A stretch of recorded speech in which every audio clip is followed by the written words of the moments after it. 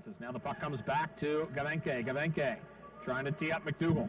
McDougal to Batherson. Scores on tire. Drake Batherson from Ross McDougal, And the Eagles cash in. Eagles win the draw. Here's Fournier. Back to Gawanke. Gawanke at center point.